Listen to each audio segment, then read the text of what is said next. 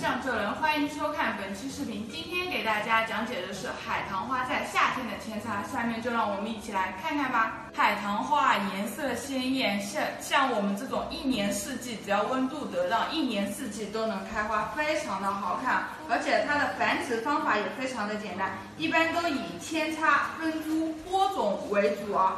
像我们大量繁殖的话，一般都是以扦插为主。但是夏天温度高，扦插的话容易导致根部腐烂。那我们还是很想在夏天扦插，那我们应该怎么做呢？方法很简单啊，我们只需要剪这种顶部一到两年生的这种枝条，先把它剪下来，然后再对它的叶片进行修剪。这叶片修剪的话，把这边的给它剪掉，减少一点，减少它的增藤作用，然后只需要把它。